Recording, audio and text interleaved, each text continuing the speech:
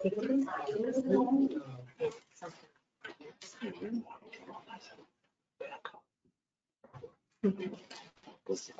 right, well, good morning, everyone. Um, Thank you very much for joining us. I'm Georgiana Gillette, Executive Director of the Space Coast Transportation Planning Organization. Our agency has authority to hold a virtual meeting pursuant to Executive Order Number 20-69 issued by the Office of Governor Ron DeSantis on March 20th, 2020, and Executive Order Number 20-193, which extends that order. The TPO may conduct meetings of its governing board and its committees without having a quorum of its members present physically and utilizing communications media technology. Some members of the Technical Advisory Committee are appearing remotely and some members are attending in person. With regard to access to the meeting, the agency is using GoToWebinar. This is a cloud-based platform for video, video and audio conferencing, collaboration, and chat across mobile devices, desktops, and telephones. So just to go over a few housekeeping items, the TPO has developed several methods of ensuring public comment for this virtual meeting. A complete listing of the public comment process and how to attend in person or virtually is provided on the Space Coast TPO website. If you are attending virtually, you may raise your hand or enter your request to speak via the GoToWebinar chat question box. You can do this either during public comment or at the time the agenda item is discussed. Once recognized by the chair, your microphone will be unmuted and you will be given three minutes to comment. If you're attending the meeting in person, you may fill out a speaker's card and turn it over to a staff member. At this time, we do not have any members of the public uh, physically present. Verbal and written communications uh, comments will also be accepted after the meeting by email or phone no later than three business days after the virtual meeting to be included in the public record. So at this time, I'll hand it back over to our chair um, uh, to call the meeting to order. Thank you, Georgiana. We'll call uh, the Tuesday, September 8th, the 2020 meeting of the Space Coast uh, um, TPO TAC. Um, And the first order is to uh, have the pledge of allegiance. Rise. Join me in the pledge of allegiance. I pledge allegiance to the flag of the United States of America and to the republic for which it stands, one nation, under God, indivisible, with liberty and justice for all. Thank you. So uh, we need to, because we have some uh, participating virtually, uh, we have to have our uh, attendance uh, done orally by roll call, please. Before we do attendance real quick, for those online, we have our go-to housekeeping.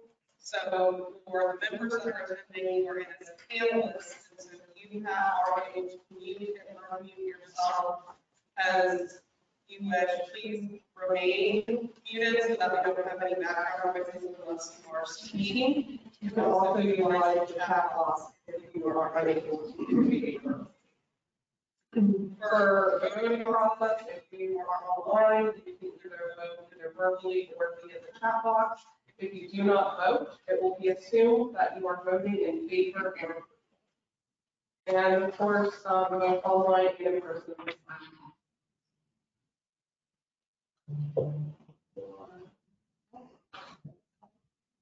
Okay, um, for the roll call attendance, I'm gonna call off who we have in attendance here. Um, first present in the for our first meeting, and then we'll go to who's in the room. I've got Frank Lumpy from Holiday, Liz Allward, Mark Bryan, and Rob Strong are online, and Derek Francis. And then here present in the room, we've got. We're going to have Liz Graham, Jenny Lamb, Dave Linderman, Scott Morgan, Devin Swanson, Zava, Zavo, excuse me. Who are we? Harry Jordan. Who's missing? We got everybody? We do have four. So, Morgan, Cheryl, roll? Yeah. All right, Yeah. thank you. All right, thank you very much. We have a forum near full attendance. That's wonderful.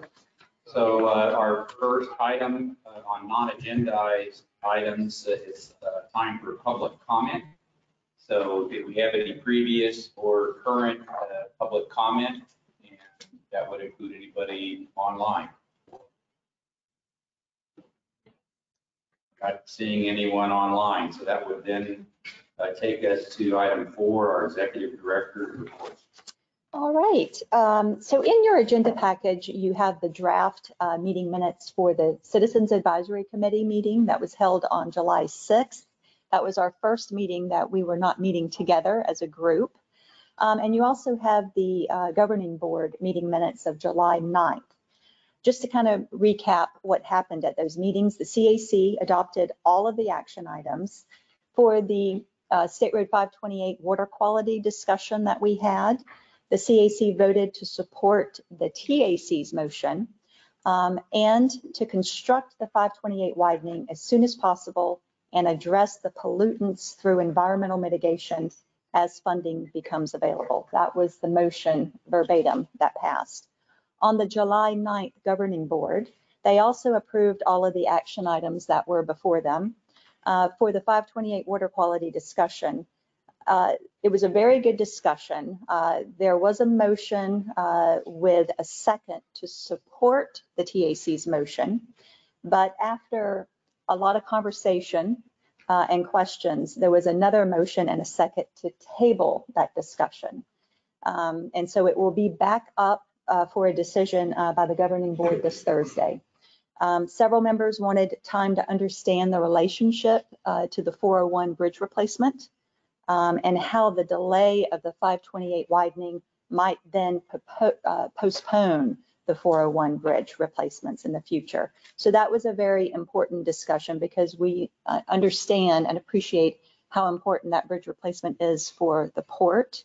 And, uh, and it is a critical CIS facility as well. Um, I will let you know that there is another option uh, that is uh, going to be coming up on Thursday for discussion. And originally, when we were talking about the 528 uh, replacement, we were talking about potentially going back to PD&E, which is uh, pretty extreme because you lose a lot of time and you lose all of the investment. Another option that has come forward um, really by DOT, and I have to give them credit for this, and that is to potentially lengthen the bridge over the Banana River um, and have the causeway removal done at a later time. So that would be done as a separate project by others. So you would have at least an opportunity to have, to lengthen that, open up the flow and have the causeway removal done later. You would not have to go back through all of the NEPA process. So it is something that will be up for discussion. That is not an option that we had uh, when we talked about this in July. Also, I just wanted to also mention to you, we did receive a letter. Uh, This letter was from the uh, IRL Council and the IRL NEP that was addressed uh, to, to me as well as uh, Mr. Jared Perdue, the Secretary of FDOT. And uh, Dr. De Freese kind of recapped all of the conversations that we've had, uh, Dr. Zarillo's flushing study. Um, He discussed the sea level rise issue that we should all be, um, you know, which is very important whenever you do any sort of transportation project. And, and just, you know, wanted to let everyone know that they are there to help and assist in any way possible and that we need to be looking at, um, you know, the future uh, of opening up that area uh, for, for water quality in the future. So I did want to let you know about that, and uh, Dr. De Freese will be in attendance at the Thursday meeting as well. On page two of your agenda package um, is the director's report, and I just wanted to highlight a few items. Um, The Florida Avenue Complete Street video was highlighted in our uh, newsletter, uh, the En route news, newsletter that the TPO sent out previously. And Florida Avenue was just one of our complete streets. Um, uh, Hickory Street in Melbourne is another big one. But we, we did a video on this in collaboration with the city of Cocoa, and we were really happy. Uh, we were excited to share what a to, to let folks know what a complete street is and how it can really make a difference for economics, for safety, um, and the community. So we would really like to do something like that on all of our complete streets. And I think it's really a good educational tool. So if you've missed it, that is in your um, en route newsletter, the last one that came out. You also have the MPOAC year-end legislative summary, which is just a summary of all the transportation-related bills that was signed into law by the governor following the 2020 session. So that is there for your information. Um, also wanted to let you know the Transportation System Resilience Peer Exchange. DOT hosted uh, that, the DOT Central Office on August the 28th through the 31st.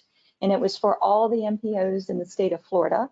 And it was really an opportunity to hear from other parts of the country to kind of share their approaches for using the MPO planning process to improve resiliency for transportation. So it was very, uh, very interesting, a lot of good information. Um, of course, DOT has adopted a new resiliency policy, um, and their action, uh, their action plan is going to be phase two that they will be working on.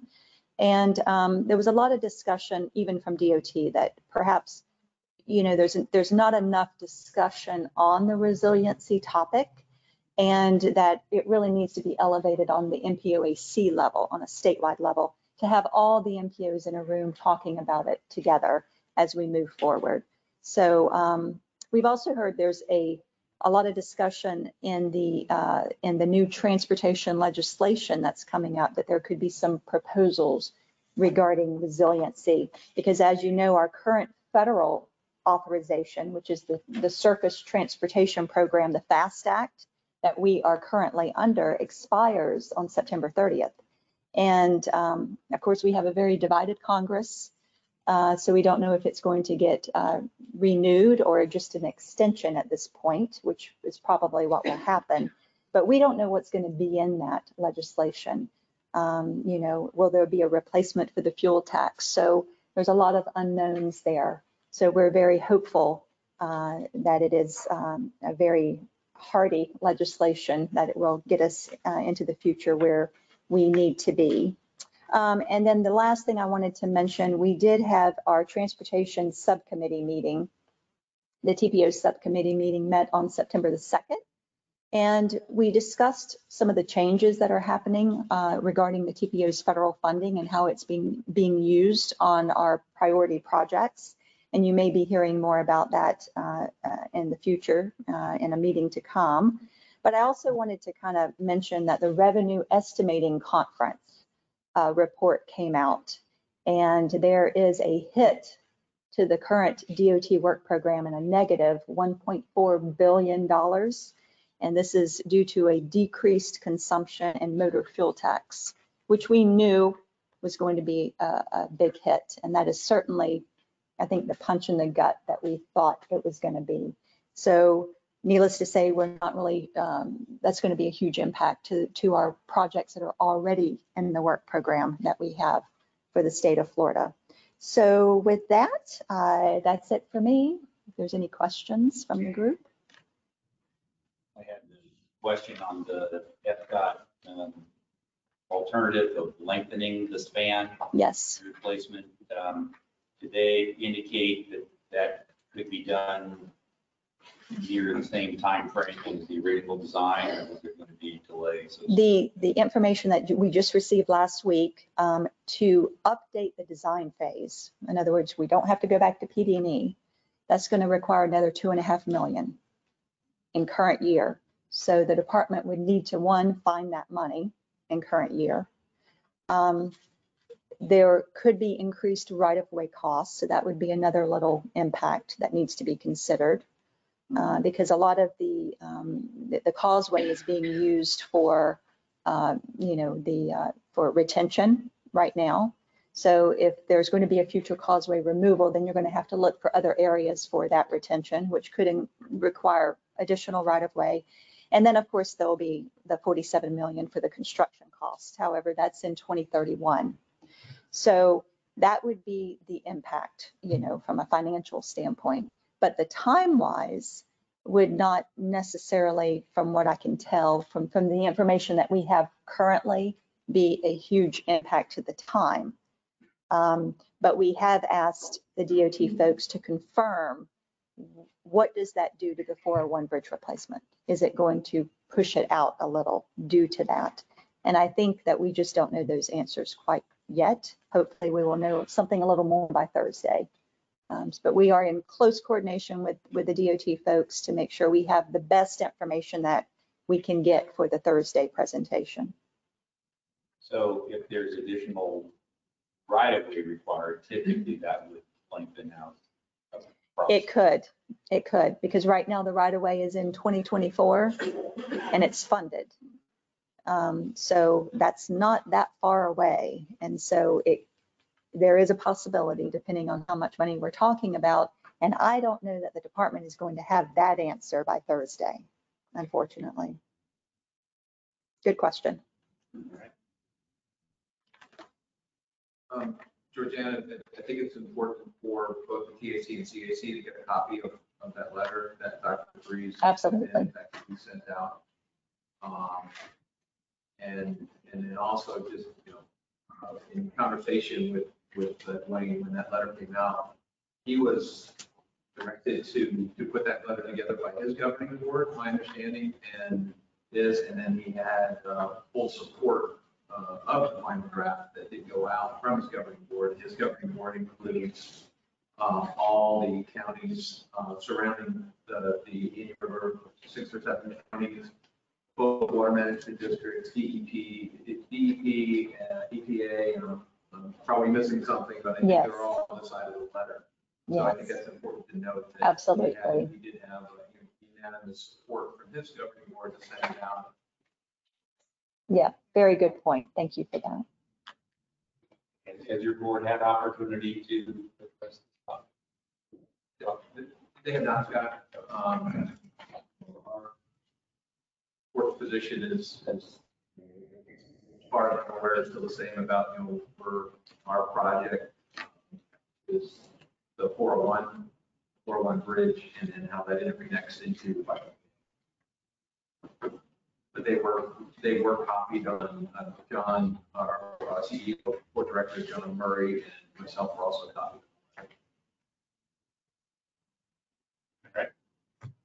Thank you very much. That uh, takes us to item five, which is our consent agenda, as the two items are uh, meeting minutes from July the 6th and uh, resolution supporting the uh, Central Florida MPO Alliance uh, prioritized project list. Is there a uh, motion? I'll make a motion. So a motion from Devin Swanson. Is there a second here or? Uh, A second from Jenny Lamb. Is there any discussion on the motion to approve the consent agenda? Seeing none, uh, we want to have a roll call vote for those that are online, or will they have enough time to? What's the? We what's can the- give them a moment to there's any opposition. All right, let's, uh, let's have the opportunity for anybody uh, participating uh, remotely to uh, at- participate in any discussion or or indicate uh, they don't support the uh, consent agenda. Seeing anyone? All right, then let's uh, call for the question. All in favor indicate by saying aye. Aye. Any opposed? The Motion carries. Uh, That takes us to our action items. Uh, 6A is uh, Resolution 2105, um, the uh, 21 to 25 tip roll forward amendment. All right, uh, this is really a housekeeping item. Um, As you know, each year, a DOT develops the tentative five-year work program that becomes effective on July 1st. The TPO incorporates the tentative work program into the new Transportation Improvement Program, which is also effective on July 1st. Year one of the TIP and the program should always match. However, when the TIP and the work program uh, become effective, there are often projects that are supposed to get authorized prior to June 30th, uh, but do, did not. Uh, These projects will automatically just roll forward in the work program, but not in the TIP. Hence, there's the need to reconcile the two documents and then bring the new tip up to date. And this is accomplished uh, by what is known as a roll forward tip amendment. Um, And you have uh, that list of projects in your agenda package. It's quite a few projects, and that is the first year of the work program where these projects have rolled forward. Along with the roll forward tip amendment, you have two additional amendments that the DOT has requested. The first one is the Cape Canaveral Spaceport Indian River Bridge ITS project. Um, It's a half a million dollars for design in fiscal year 2021. Um, And as you know, this is the technology to manage the traffic flow in and out of the spaceport. And this is another component of the infra grant that Space Florida received from USDOT. And then the other uh, amendment is a federal highway amendment for new funding under the Federal Lands uh, Transportation Program. And the projects are listed on page 83 and 84 of your agenda package. They are uh, really a routine maintenance pro, uh, projects um, that, uh, that there are federal funding uh, going to out at the uh, Merritt Island National Wildlife Refuge. One of them is a Hurricane Matthew repair.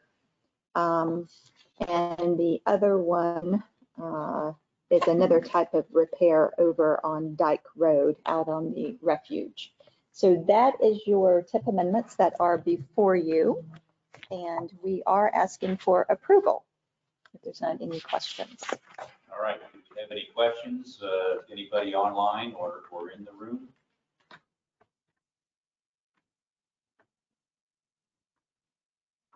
Doesn't look like we're seeing anything from online, so uh, would entertain a motion to uh, recommend approval of the resolution.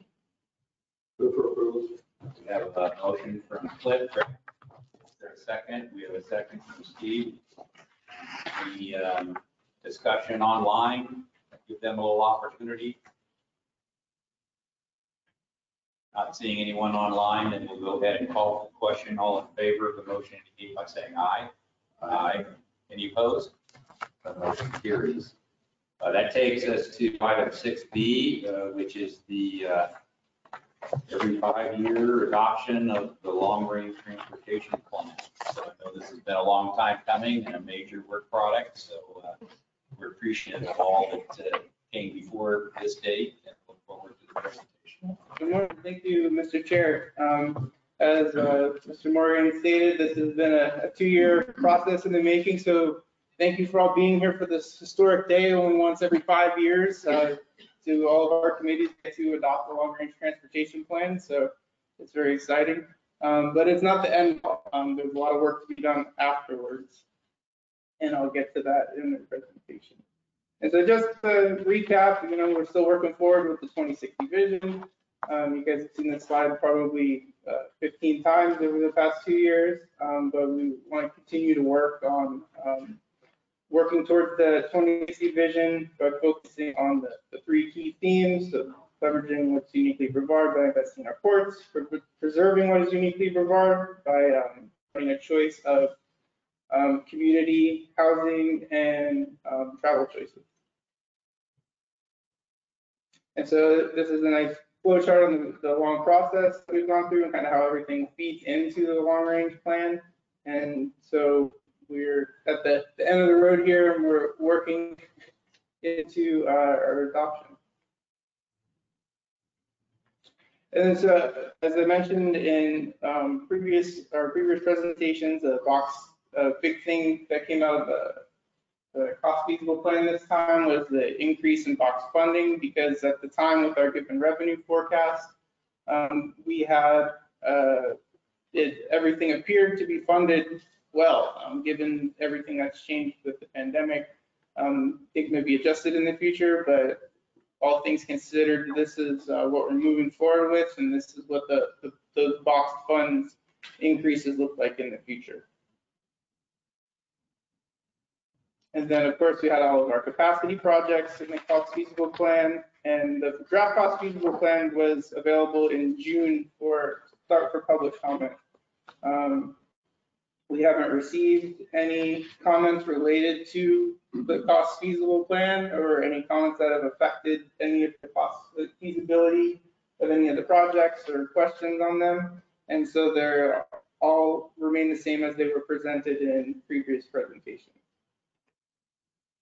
Um, and, and then on August 11th, uh, we did post the long range plan document for public comment. So this is more in the past than we've had available for public comment at this stage in the game. Um, really want to get as much of the process out there that we could, um, as much information so that everyone could see all the work that's been done to get to this point. And so if you have not taken a look at that, um, it's, it's still up there. Um, we're asking for adoption today, but we will be working on making, um, any final tweaks to the plan document, um, as far as mapping goes, um, and just content, um, within 90 days after adoption. And so I mentioned we didn't receive any, uh, public comment on the cost feasible plan projects.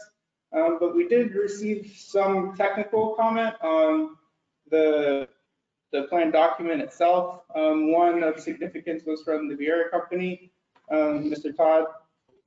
I always say his last name wrong. Pokrywa. Korea. And, um, uh, one, and that was in regards to showing the western connection to Osceola County through the Viera DRI, um, from Pineda Causeway West. Um, so we will, we're removing those from the maps because, uh, it's really yet to be determined where that exact alignment is gonna happen. So, um, those maps will be updated and there'll be kind of a more ambiguous, um, arrow connection to the west and not only be in the vision map because that corridor didn't even come up as a need uh, this time around on our plan. And then the other one was from FDOT regarding the Indian River Lagoon National Scenic Byway inclusion in the long range plan.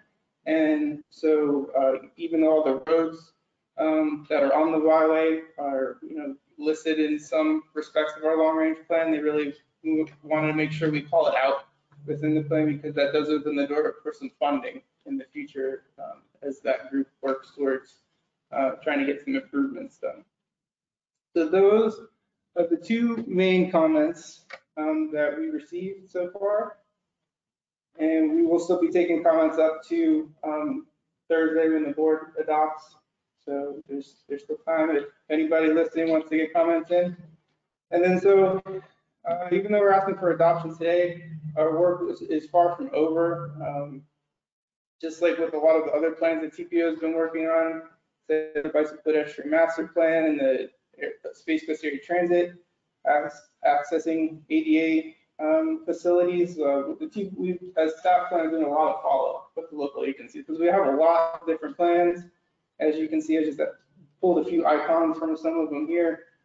And as part of that follow-up in the coming months, we'll be reaching out to all of you to find out what would be helpful in agency action plans um, that the TPO puts together that you can bring back to your local agencies and it might help um, all of you work towards that 2060 vision, whether it be land use changes or policy changes, um, what would be helpful coming from the TPO. So we'll be reaching out um, to you all uh, in the coming weeks. And then another fun thing that came out of all of this is that as part of our call for projects, uh, we're gonna kind of have an environmental review meeting with our environmental agencies that we met with in the long range plan development.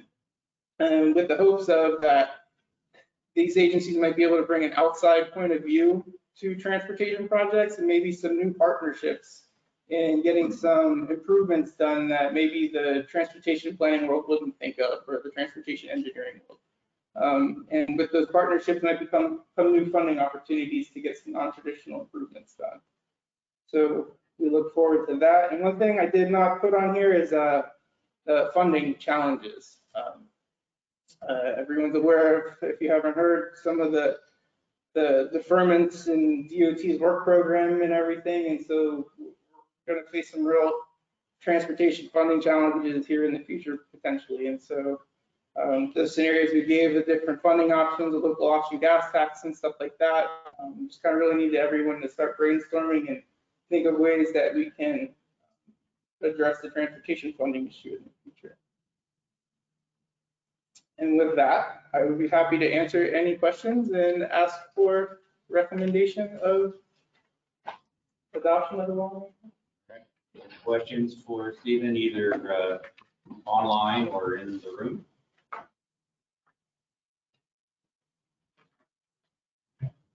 Right, well, we uh, thank you and we thank the consultant team from Kittelson that worked so hard. I know they all met with probably each of us at some point during the process, at least once, probably twice or three times. So uh, we appreciate uh, the, the work that's come into this. And so if there is no, are no questions from online or in the room, doesn't look like online, anybody's raising their hand, okay, then we'll go ahead and uh, consider a motion to uh, recommend to the board that uh, resolution 2106, the- the long range transportation plan be adopted.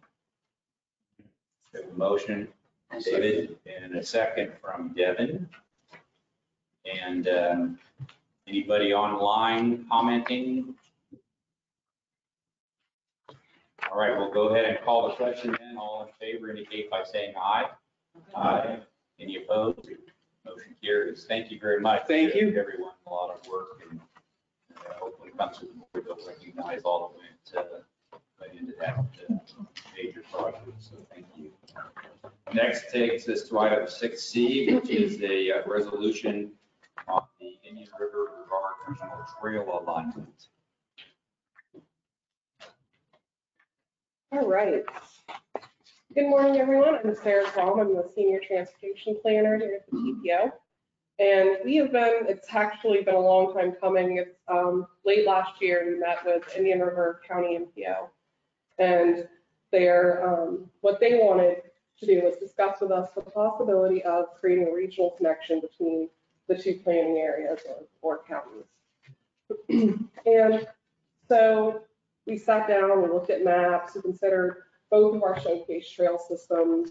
They are really coming, we've, we've been doing trails for a long time here in Brevard, and the Indian River MPO is really starting to embrace the Sun Trails program through FDOT. And so it just kind of made a logical sense to sit down and think what, what could be done on a more regional scale. And so what we developed was, which I have to give all credit to Jim Mann Indian River MPO with the mapping. Um, that was all him. And so what we developed was, which is this yellow line, and it's the potential to create a regional trail that would connect the Indian Rivers, um, Trans Florida Central Railroad Trail, Brevard Zoo Trail, and Al Tuttle Trail, the existing St. John's Water Management trails within both the counties, as well as also create a link into the East Coast Greenway. And so it would create a lot of connectivity and um, open up a lot of opportunities for recreation, transportation, and such. So the benefits for adopting or for de- and development of this trail would be that the addition of trail alignment to statewide maps. So in order for us to get this trail on the statewide maps, which would open us up two, two different funding sources to develop this trail, we need to have a joint resolution between the Space Coast TPO and the Indian River. So in your agenda, there is a joint resolution. Mm-hmm. It also, so then that would lead to the potential for additional funding sources to pursue this trail development. As I mentioned, regional connectivity, encouraged with economic and tourist, tourism growth in both areas, benefits to the citizens of both counties. You could go for a day trip down to Indian River just by riding your bike or vice versa. And also promoting healthy communities along this trail. So there's a lot of benefits. It's obviously an unfunded trail, but this is our first step to developing a trail is we need to get this alignment adopted as a showcase trail for both the Space Coast TPO and the Indian River MPO. So then we can move it into getting it approved by the state and hopefully open us up to some Sun Trail funding for it. So with that, I ask if you could please approve the resolution for adopting the trail. It doesn't have a fancy name yet, so the Indian River County PO, Regional Trail item. Sarah, I a question. You mentioned some of the segments that were existing or available, but obviously that's a pretty good distance. Yeah. What kinds of gaps, I'll call them, in right of way or, or ability to, to make connections? I mean, what, do you have a rough order of mag- magnitude of percentage that there's gaps? We don't have, um, we don't map out a specific, you know, this is how many miles of gap we have. What we try to do though is we, when we looked at the alignment, we tried to choose places that were either using um, existing right of ways that would be on like berms or such that people are actually already using. It's just how they're not paved or, or formal, formal. So, um, some of the spots, it's gonna be as easy as, let's come up with a cool name and logo and let's go stick a sign. Um, some of the other spots, we, we might never have an actual asphalt trail through it, might be having to, you know, make it a hardened surface. Um, we won't really know till we can get kind of the funds going to dig into what, what is the feasibility of it. This is kind of, we're at the very, very, very, very, very beginning of planning. First step. Great question. I wish I had a better answer. It's all right. It's- it's- It has to start somewhere. So obviously, there hasn't been any environmental analysis No, yet. no. No, but um, both the St. John's Water Management District as well as also the Sebastian Buffer Preserve have expressed interest on both to Office of Greenways and Trails, which is where this could go next after the two MPOs and to, to us developing trails in their area, so. Right. Uh, Anyone online or in the room have other questions or a desire to uh, recommend approval of the resolution to the board? Steve? Yeah, um, I see up on the north end, it looks like there's connectivity to the, ci- the populated areas, I'll call it. Um, a little further south, Melbourne, Palm Bay, doesn't look like there's a lot of connectivity. Would there be some type of way to, to, to Yeah. access from. Yeah. Um, that's, some- you know, going back to what I was just talking to Mr. Morgan about is we're gonna have to dig in and see. But, you know, a lot of the main roads do have bicycle or pedestrian facilities or would be developed when the, the road is widened, such as, you know, Malabar. Um, and also working with St. John's Water Management District, they do already have trailheads out there. Um, that that could potentially serve as trailheads to this as well. Sarah, I have a question. Mhm. Do we know how much of Indian River County has that trail that goes over the interstate, that nice? So what the length is, Do we know how far it goes west or east from there? so it's, it's going to, they have another project that is going to come. It's, it's pictured on here. It's going to come past Fellsmere and then shoot up. Um, and that actually is, from my understanding, completely funded. Jim isn't on the line today. I don't think he's gonna be for our board. Um, But, and then that is supposed to go all the way to US one from, from my understanding of their planning that. Because we basically, we tried to essentially just filling gaps between all of our other trails, so. True, I just, Yeah, from more of a personal Mhm. question, because I get asked all the time, Yeah. where does that go? yeah. Everybody drives underneath it, they ask me. about Yeah. it. It's supposed to go where it It's supposed to go from all the way out to Fellsmere, and they have this whole idea, um, there's apparently like an elephant sanctuary out there. So, All right, thanks. Yep. Any uh, questions or comments online? Not seeing any, okay. uh, I think we're ready then for a motion to uh, recommend approval of resolution 2107. For approval. There's a Motion from Cliff, is there a second? There's a second from Jenny. And uh, anyone online commenting? Look like, so we're, looks like we're ready for uh, the question. So all in favor indicate by saying aye. Aye. Any opposed? That motion carries. Thank you very much. That takes us to item seven, which is uh, school routes analysis. all right, so I'm gonna get us started, but then we do have our consultant, consultant, there we go. Um, we have Aditya joining us, Kelson from up in the DC area, so he is attending virtually due to the, the state of the global pandemic. Um, so to give a little bit of a background before Aditya takes us away for this presentation, it was about two or three years ago, the city of Melbourne and the city of Palm Bay approached the Space Coast TPO with the idea of doing a safe routes to school or school routes analysis study for their elementary schools. We came back and we said, we'd love to do it, but we can't do all the schools. Um, so we requested that they choose four schools using a tool that was developed by the National Routes to School um, Coalition. And so they basically took back, they prioritized their schools and they presented us four schools from each, from both Palm Bay and Melbourne to complete a pilot project study. And so we've been working for about the last year to do, um, to complete the study.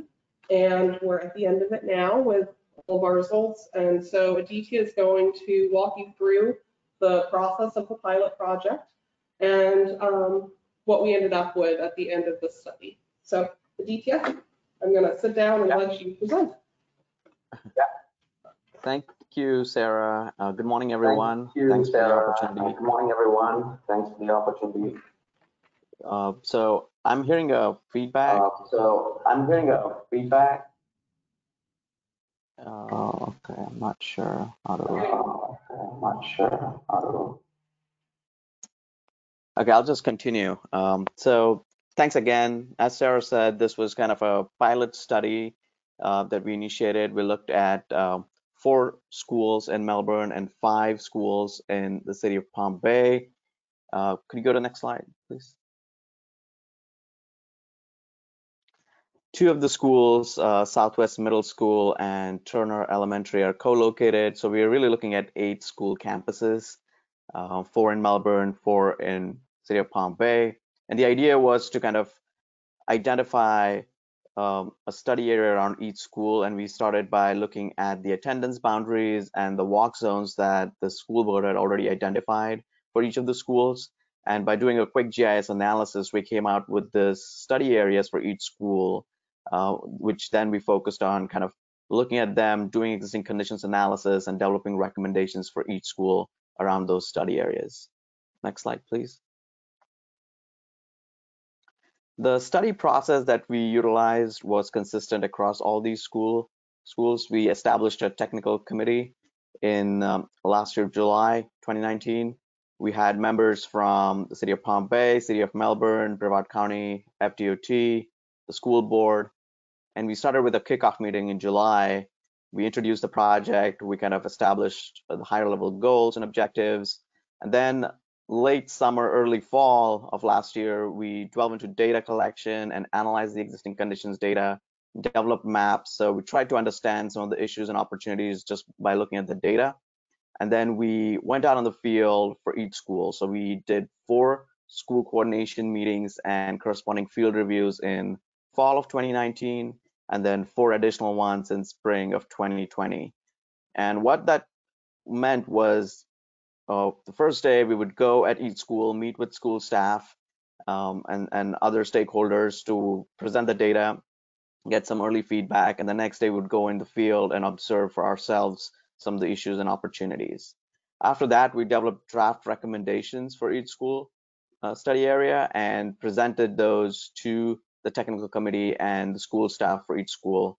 And then finally, we revised them based on the feedback we received and documented the whole process in what we're calling a final assessment and implementation report. So we have eight different reports for each school. Next slide, please. So going a little bit into detail for, uh, for, the coordination meetings, the purpose of these meetings was to verify existing conditions data. Uh, GIS data can only tell us so much and things might have changed on ground. So we wanted to kind of go ahead and verify uh, the stuff that we're mapping, get some additional information like how the school circulation is happening, where the buses are coming, where the walkers and bikers are coming in, where's the parent pickup drop off loop. And the images on the right kind of show our actual work at these meetings where we had these kind of boards with different maps, really trying to understand how the school circulation is happening, what are the issues beyond the school campus in the study area at major intersections or routes. and really understand the issues and opportunities as we started thinking about recommendations. As I said, generally the participants participants included school officials, principal, assistant principal, or school resource officer. We had uh, school board officials, especially from transportation department. We're joined by the city staff or the county staff, FDOT representatives if there was a state road within the study area, and then Space Coast TPO and Kittelson staff was also there for all the meetings. Next slide, please. The next day, we went out in the field. We observed the drop-off activity in the AM and the pickup activity in the PM. We had four or five people kind of uh, as a team for this field reviews, and we would break up. So one person would be at the school observing the pickup drop-off loop. One person would be interacting with the crossing guards. Uh, one person would be looking at the kind of the school bus um, circulation. So we were trying to cover as much area as possible because uh, the, the pickup and drop off uh, activity in the AM and PM were kind of the most busy times that we wanted to observe how things are happening. So we wanted to kind of spread out and cover all our bases.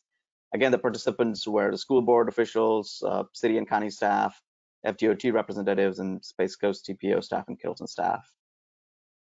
Next slide, please. So as part of the study, we have developed recommendations for each school, and these two tables kind of summarize these recommendations uh, at, at, a higher level. So we have 148 total recommendations, on average about 18 to 20 per school study area.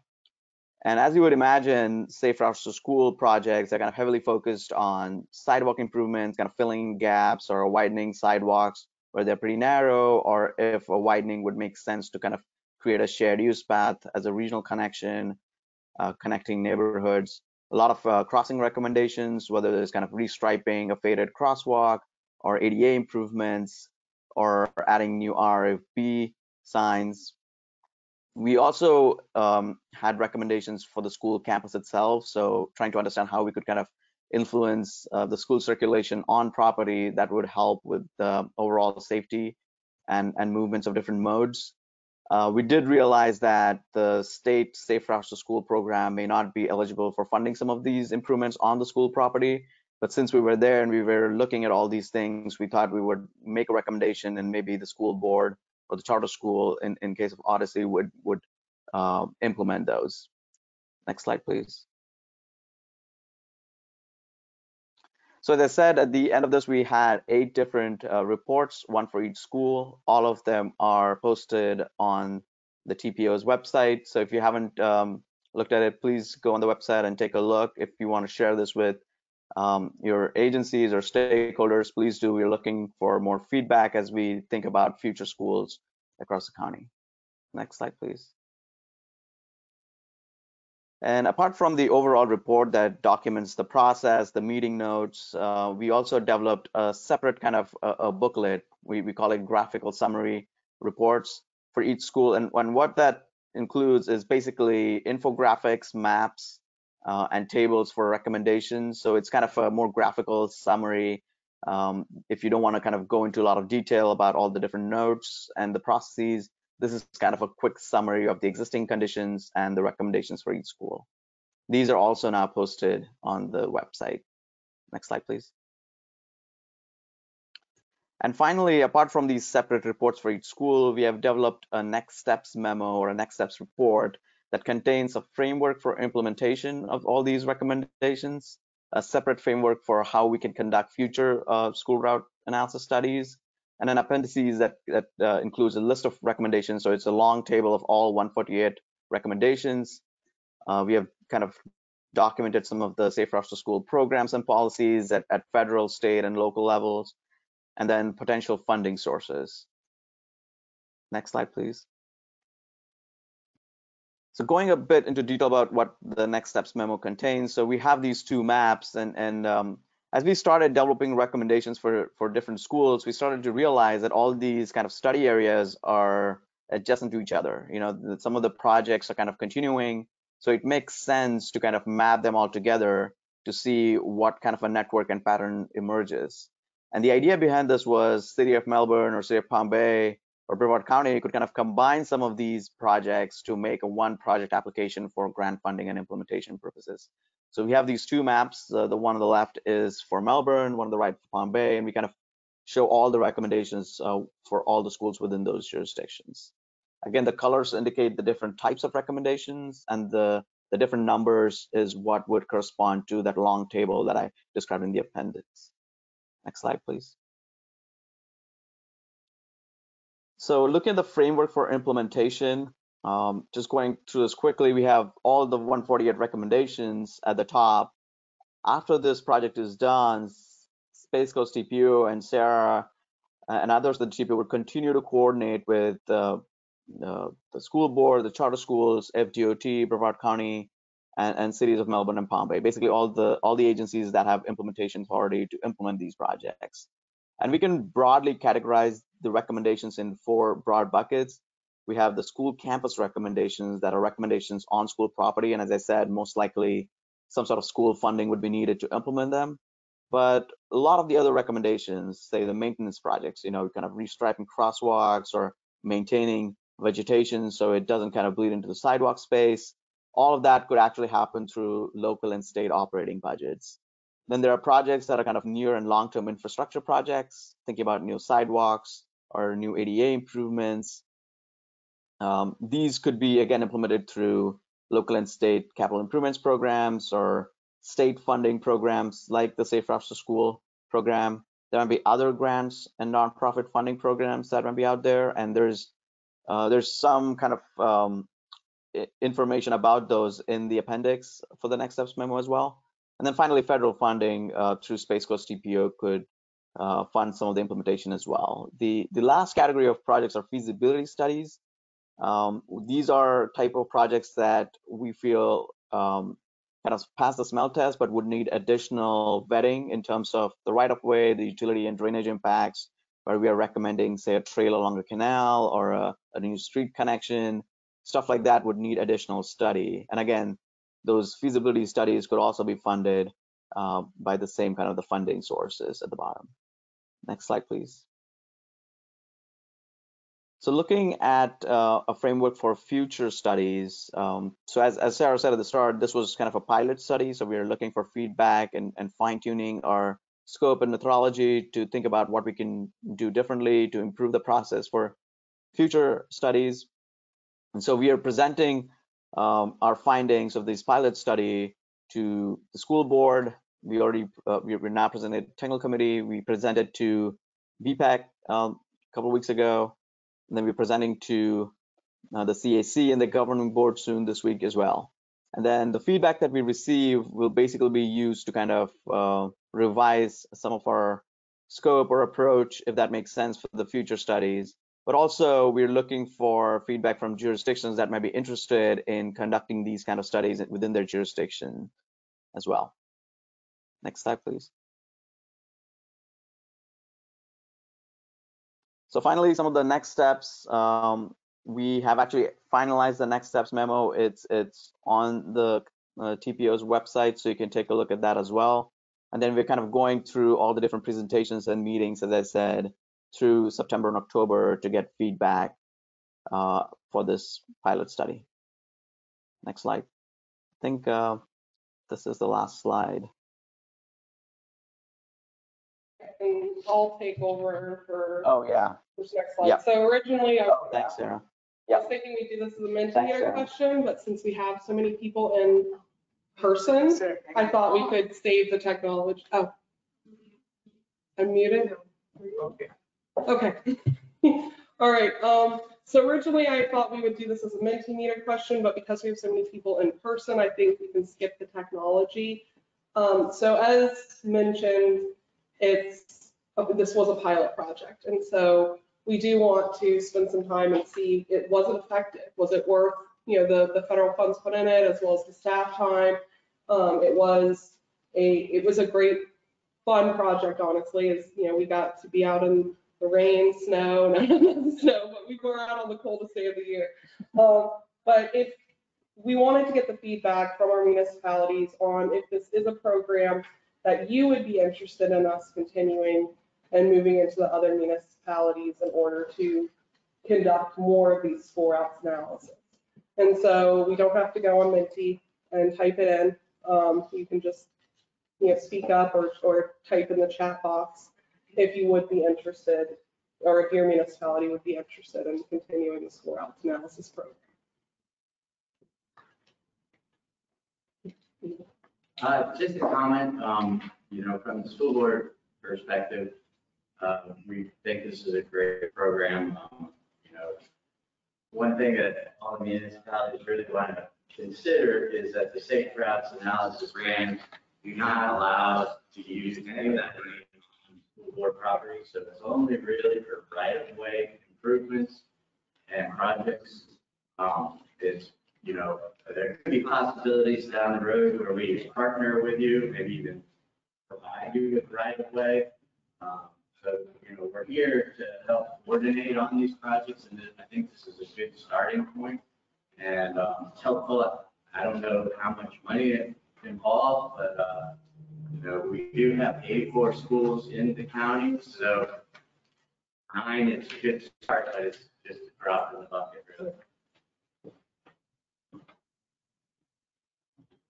So the, the, the study has recommendations for on-campus things for these nine campuses. How is the school board going to address? Well, I mean, we would present them, um, there, you know, there is sometimes we do projects, they were parking lot, we can take those recommendations and incorporate that into the scope of a project that we're already doing. We don't have any specific funding specifically for, um, a lot of the recommendations, but, you know, once we can get those recommendations and understand how much they cost and, and what kind of funding potentially could be available, whether cities and county want to help us partner with that, even if it's, uh, for instance, like at Ralph Williams Elementary, we made an interlocal agreement with the county, and their crews actually did the work, and we split the cost. So that was a great example of how to get more stacking capability for the parent pickup loop, make the streets safer, and it's a win-win situation for everybody. Um, and everything is kind of a case-by-case basis, because we don't really have any specific funding for these types of things, but, you know, unless we identify it, we never will. So identifying it, as we all know, is kind of the, the first step in the process. Thank you. Laura? Um, Mo Hassan with FDOT, he had a comment question. He was wanting to know about maintenance on state roads. So actually what we're doing is, I um, don't need to know. Oh, is this Mo? Um, hi Mo, um, what we are in the middle of doing, which was not included in our next steps in the Mo, is after we had our last technical committee meeting, um, the, the FDOT through Chad requested that we create an FDOT kind of maintenance memo. And so right now we're working through pulling out all of the FDOT maintenance items out of those recommendations and creating a memo to then pass on to FDOT so then they can formalize and, and get, and hopefully get some of those low hanging fruit projects completed. Thank you. Similarly, I presume you. Thank you. Palm Bay and Melbourne and the county for their roads, if it's refreshing striping or signage or, you know, work goes into normal maintenance budgets, I'm presuming that you're feeding that Denise. information, those three. Jimmy's saying yes, yeah, yeah, we're, we are, we will be presenting, um, Palm Bay in two weeks. And Melbourne, I think it's three or four, it's like the first or second week in October. Uh, we're still working on setting a date with the school board to present, but they'll be provided all of the information as well as also all those booklets that the DPS showed. We have printed copies for their staff and also their council members. And so they'll be able to have those tangibly on them to be able to dig in and figure out how they would like to tackle them. Or whether it's the maintenance or, or if it's the school routes project. I just wanted to give one, thank you, Aditya, for the, the presentation, um, and thank you for involving Yeah. school staff and Yeah. school board administration. Um, just one very simple comment on, uh, your participant list, uh, you mentioned a couple times that school board officials were Mm. participants. And I'm not sure if officials is the right word because no elected officials got Staff. would have been participated. So you could use, Staff. there's basically two levels. There's school, actual school administration and personnel, and then there's district-wide staff, school district staff or school administration. Just a simple feedback. Um, I think the word officials is kind of a misnomer. Yeah, no, that's, that's, uh, that's good feedback. Yeah, no, that's, that's, uh, that's good feedback.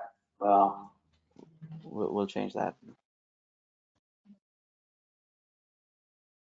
There any other comments or questions or feedback? Just one question. Um, I assume it's going to go before the governing board, they're going to ask the same question. Would they be interested in having this up for their schools inside their peers? as well? Yeah, so they will be asked the same question. And then when that happens, what, would you do next? So the way I kind of envision is, you know, one, we're going to present to the cities and hold any kind of additional meetings that either the cities would request to help them move forward. Right now, um, school, safe routes to school applications are open through December.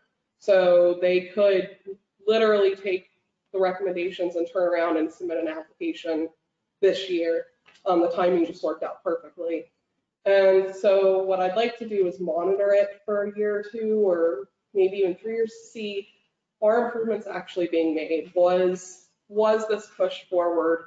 Um, or, or was it something that, you know, it was a great exercise and we learned a lot, but, you know, did actually lead to implementable projects? Um, after we've, if we've established that it is a great program, then I would imagine whichever cities kind of pop up first as requesting them, um, you know, we would probably go through some sort of prioritization process with them, choose various schools. Now, this is also all based off of funding availability and staff availability. So, um, you know, it's also a possibility where if a city doesn't want to wait around, they could literally be able to take, the way the report is written and everything's written, you could literally take all of the material that we did and do it in-house and, and implement it yourself. Because then we'd obviously be, you know, glad to provide any kind of support while you do that. Um, but we, we tried to make it where we create a framework where either we could redo it in the future or the cities could redo it.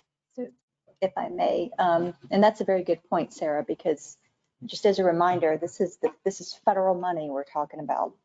So it would be the cities that would apply, that would fill out the application. We're more than willing to help in any way we can and working with the schools to get the information for that specific application. But it will be a lap project and it's the city that's going to have to deliver it. And you know what happens with the federal money, there's strings attached. And so there may be a situation where it would be to the city's benefit to maybe implement the project on their own and not federalize it. It needs to probably be worth it from a financial standpoint.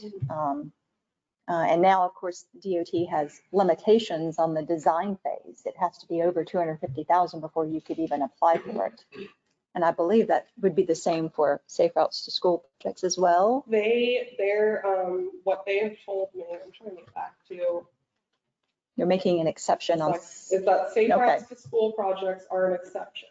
okay, good. that The LAP policy does not apply to safe routes to school projects. However, the safe routes to school funding does have a lot of stipulations in regards to all of your right of way has to be completely owned and ready to go before you can even apply. They pretty much, if you can't check a box that says your right of way, you know, confirming your right of way, your application gets tossed out that year.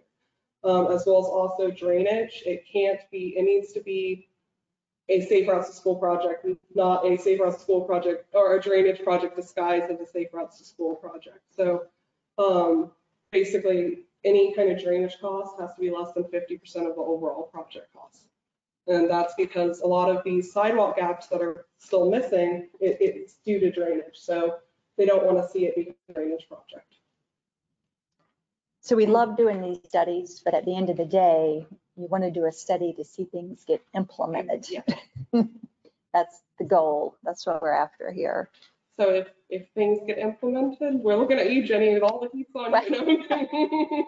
I'm kidding. Um, Melbourne Yeah, has lots of experience with implementing LAP projects. Then we'd be happy. Yeah. Both, both Melbourne and Palm Bay have done multiple Safe Routes to School projects before. So I think that they were a really, they were two really good cities to start. And because they are familiar with the application process and the delivery process. So, yeah. Any other All right, Thank you very much. All right, that takes us to uh, item eight A, the report from the Florida Department of Transportation.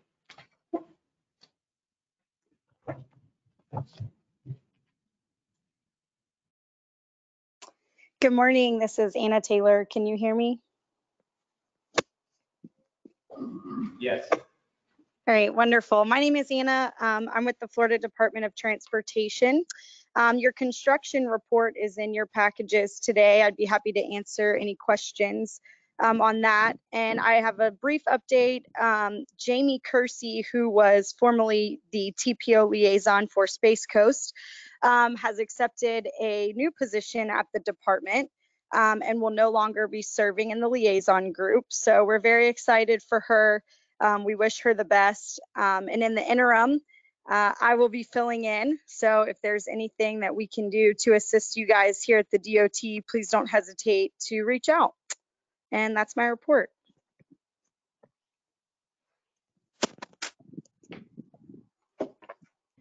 Thank you. Any uh, questions? Right, uh, Thank you very much. That takes us to the report from Bicycle Pedestrian Trail Advisory. All right.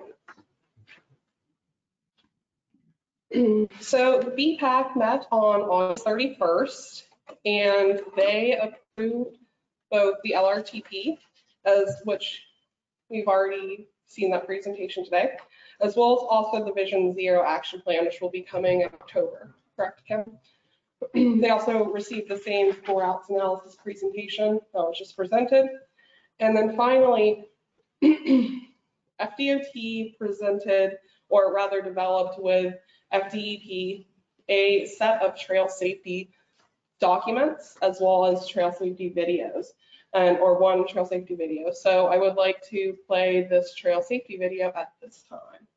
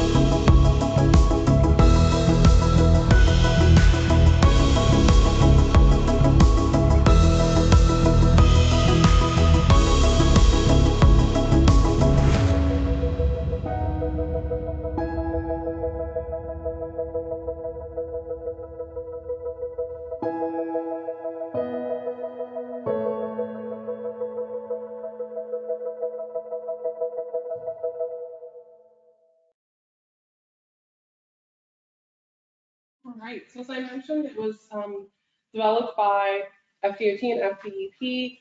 Or we think it's a really timely video right now with so many people kind of re rediscovering walking and biking through quarantine and, and getting an opportunity to go back outside and, and really kind of reconnect with trails. And so we do want to encourage people to be safe though while we're using the trails and we think it's a great video. And that's all I have to report today. All right, are there any questions uh, for Sarah on the advisory committee? report? All right, seeing none, thank you very much. Uh, That takes us to item eight C, which is our transfer report. Good morning, everyone. Terry Jordan, Space Coast Area Transit Planner. Um, Providing the transit report, it's typical. Um,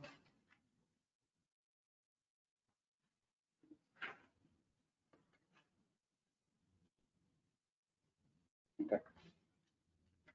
This morning, uh, actually, at my last presentation, I spoke little about the uh, new routes that Space Coast Area Transit is planning on implementing at this time, we anticipate it will be spring of 2021, just because of the pandemic and now introducing new service uh, during, well, the height of the pandemic, which we were expecting to introduce um, the service in October, as we typically do. However, uh, I was asked that we can, that I could provide the maps for the group uh, at that time. So I decided I'll just provide the uh, maps for the TAC as well as, as well as the CAC so it can be a visual representation of the service that we're implementing. The same information is included in your packet, so you'll have it available to you if you want to share with anyone at your prospective uh, workplaces. One of the biggest, uh, two of the biggest areas that we are adding is new service in Titusville. All of these services were derived from our transportation development plan program that we um, complete and update every year. Um, so it's not as though we just sat around and thought of something new, but the two tires, well, the two routes in um, the Titusville area, in Port St. John area, have been, had numerous requests for service over the years. And uh, so our director, Scott Nelson, took into account the several areas that we're looking at, like particularly De Leon, which is, we're seeing a revitalization project in the area and a lot of development going on, expected anyway. Uh, we want to make sure that was an area that was served Port St. John has been long haul transit barriers there because there's been no service in the area at all. So those are two areas that we focused on and providing the service. So these are actually the overview and for some reason I can't, oh, yes. So this is the uh, Titusville area route, which you see here. Um, a lot of it was developed upon request from our citizens and passengers in the area, as well as working with operators and, and those familiar with the area. Mike task is then to design the route and uh, lay it out and then build the schedule. So it's um, a one-hour loop uh, from start to finish, as our typical routes are.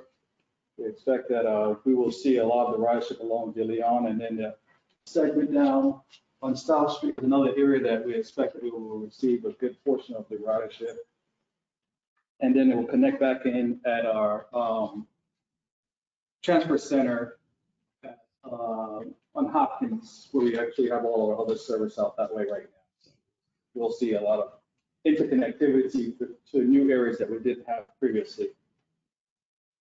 Port St. John, everything is brand new with the exception of this area right here. Um, Once again, we've had a numerous requests from citizens throughout the area for service. And so we're hoping that this will be a route that will, once it's implemented, will be a booming route to start with. Uh, Right now, they have nothing, all they have is demand response service, and we're looking forward to serving this, uh, this area of residents. The next two routes are uh, 26, which is existing service. However, right now it's a two-hour headway, which means if you miss the bus at any point, two hours before you'll see that bus come back again. So what we've done is now cut it in half, so it would be our frequency, frequency on both sides. This is the uh, bottom point of the service into Melbourne. service into Melbourne uh, airport and then back up to the side, and then, oops. So it's on the actual first one. This is the new part of the service. The second segment is from um, Eau Gallie, then out to Cocoa Beach. It's pretty much just runs uh, Avenue all the way back up. And so that's it for the new route. Uh, It's something that we've been talking about for, I think, the last two meetings or so. Just want a visual representation uh, during this meeting. Um, You also have in your packet uh, a report that our Director Scott Nelson provided to the TDP uh, for our CCC report, so I just wanted to include that for some information. I'll highlight only a couple of things out of it. Um, We continue to do our best to keep our patrons and our operators as safe as possible, so we implemented a new uh, system with a Gency fogger, which is a uh, aerosol type fogger that pretty much once every week or so, the uh, maintenance team goes out and fogs the bus. It really is only needed every seven to 10 days. It adheres to the surfaces and it's supposed to keep the surfaces disinfected and um, free of germs for that period. So we have them fogged once every week. And uh, we continue to use the barriers. We continue to be fare-free at least until October 1st. We're considering re-implementing fares at that point. We're boarding from both entrances at this time, front and back. We went away from the back door only since we installed, installed the barricades for the operators, or barriers, I should say. Um, But this, this product is supposed to be a little bit better than cleaning because you don't have to clean, apply, and then clean again. This is where you, you do your normal cleaning and then you apply the product, and so it's supposed to keep uh, the uh, germs from uh, spreading potentially uh, using the system. Um, One of the other things that we're doing is, uh, we, like I said, we continue to um, encourage our passengers to wear masks. It's not mandatory, but there's been some, some new directive that are going to strongly encourage our passengers to wear masks uh, utilizing the vehicles. Of course, all, all operators and staff use masks throughout the day when at work, so that's another area we're trying to, to, um, where we're trying to affect the mitigation of the spread of the COVID-19. Um, Two things that fiscal series, we had a triennial review and a Brevard County internal audit, audit both in the same week. As of right now, we have uh, very minimal findings from FDOT. Um, Just pretty much small things that we have to uh, adjust, but no real findings throughout that report. We have, I have not seen what has come of the Brevard County internal audit, but I've heard that it went well, so we're doing pretty good there. We continue to um, advance our project for the shelters. We've had two shelters installed in Viera, one at the health department, one at the uh, government center. Uh, We're going next to one in Rockledge at the, um, I'm sorry, I always forget the name of this, workforce. And then uh, Satellite Beach and uh, Merritt Island will be following those soon afterwards. One of the major projects that I am working right now, and I've mentioned this before, is the Intelligent Transportation Systems Project, which we will have the ability to let our passengers know when the vehicles are arriving, uh, know where our vehicles are located. We actually started the implementation of the software and the installation of the hardware in the vehicle, so we started that project, and we, we actually had a setback because the installers, several of the team from that um, agency were sick and um, as a result, didn't come up to Brevard to do continue installation. So now they've all tested negative. They've come back and started last week. And so we're starting back the reinstallation of the hardware on the vehicles. And as of right now, I can go on uh, the application and see five vehicles where they're at all times and predict where they'll be within the next couple of minutes. So that's something the passengers will be able to do in the not too distant future as well. I'm say that was it for the major areas. Uh, as I mentioned, all this information is in your packet, so if you've got any questions or need any additional information, I'll be glad to provide it. All right, thank you for that really good report. Um, How is the demand response and fixed route ridership? Thanks for that question. Um, so right now, we continue to be at about, uh, 70, 75% of our normal ridership on fixed route. Demand response is still down significantly because the areas like, um, the Achievement Center and the Adult Day type centers haven't fully reopened. For any that have done any reopen- reopening, it's just been very minimal. So we still have a lower demand response. We still provide the service to people that have to go grocery shopping, go to their medical appointments. So the demand response, I want to say, would be still down more than 60% as a result of the major client being the, um, the uh, contract routes where the, the individuals that do use that service are the ones that use it every day to go to those specific locations. So, uh, but fixed routes coming back slowly. Right now, we're looking at roughly 5,000 plus per day, right in that range. So say we're about 70, 75% of our normal ridership at this time. And it continues to, to bounce up and down. You're Any other questions? All right, thank you very much. That takes us to item eight D, our public uh.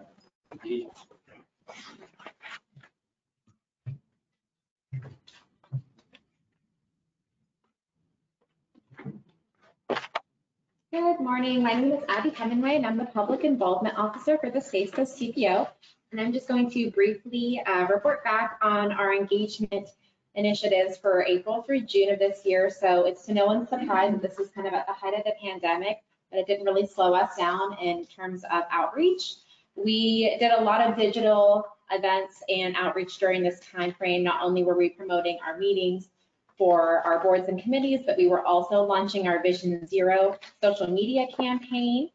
Uh, we were also promoting the list of project priorities and the tip, which are, we know are huge things during this time frame for the TPO.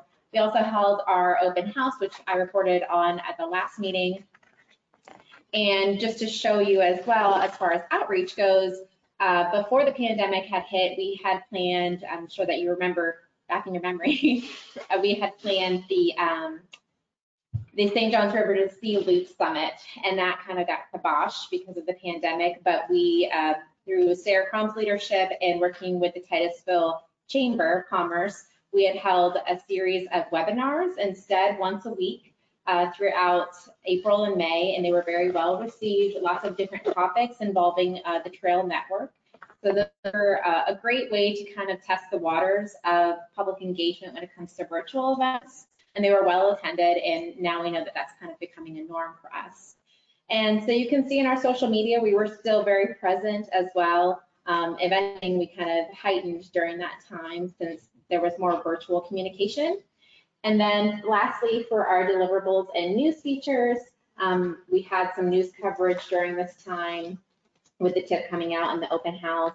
And again, you can actually see a big increase in our deliverables and our graphics because we really tried to push a lot of stuff online. So that is my recap for the spring. Thank you. Any other questions? All right, thank you very much. Uh, That takes us to item eight E, local government report. So uh, anybody in the room or online want to uh, share anything from your uh, jurisdiction with the others? Scott, I'll share on a few CIP projects Clark County's doing. Of course, we all know Pineda Causeway overpass over the railroad is ongoing. Um, It's moving along smoothly. We put a temporary traffic signal in at Holy Trinity there, so that's temporary. Just want everybody to know that. It's not a permanent signal. Um, Next one is the St. Johns Heritage Parkway ITS project, phase two. It's ongoing, it's underway for CCTV cameras, connection, communication, all that. And one I haven't reported on in a long time is the Sykes Creek 520 Signal Trust project. The Signal Trust materials come in and they're putting it together basically over the next three weeks. So it should be swung up probably in the next month or two. I'll be able to report better next month.